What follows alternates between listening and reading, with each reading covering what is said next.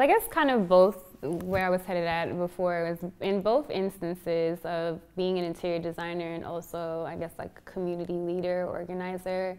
Um, I'm thinking about many other people uh, from a client perspective in interior design, but also um, from a community space, literally any and everyone.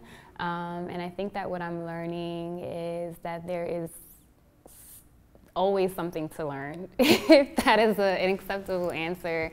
Um, there are so many different uh, people within this world that have different capacities, creating spaces that are accessible for people that have impairments or um, people that aren't seen within spaces are things that I definitely um, prioritize learning more about so that I can be um, as intentional as I can be in either producing uh, the programming that we do from a collective side or interiors that we work on. Um, I do a lot of international work as well, so um, just making sure I'm cognizant of cultures and communities and doing as much research and stuff as I can kind of keeps me learning. So um, yeah.